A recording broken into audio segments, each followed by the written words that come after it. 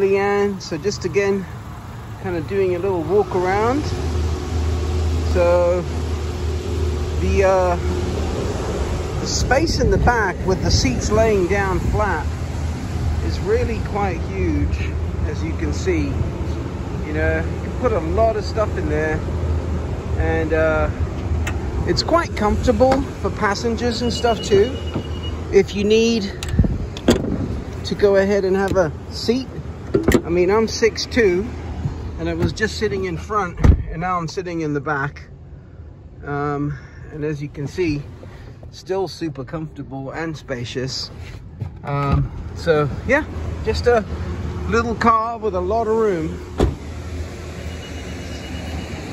So yeah, just as you can, see, you know, changes the color depending on the where the light's coming from.